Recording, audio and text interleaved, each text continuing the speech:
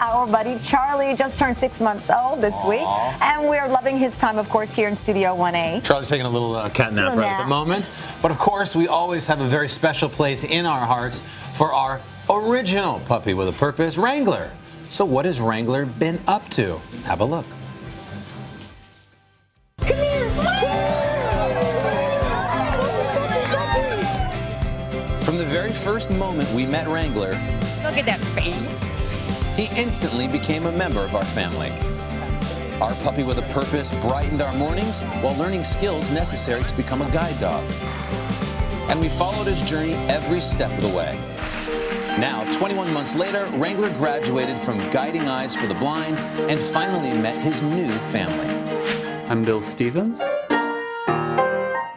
I've never had much vision at all. Lost almost all of that. 99% of what I had I lost when I was 14. Left four times, here we go. Bill is a music professor at the University of Santa Clara.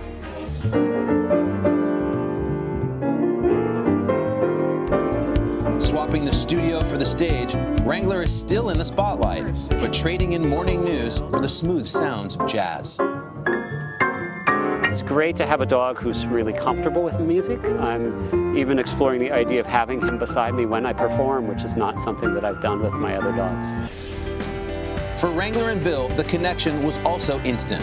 We're in my room at Guiding Eyes that first night, and I'm sitting on the floor, and, and Wrangler's, you know, licking my face and putting a paw on my lap, and then another paw, and then he's putting a paw on my shoulder, you know, and he's just trying to knock me over backward, you know, with uh, with face kisses. We hit the bond quickly.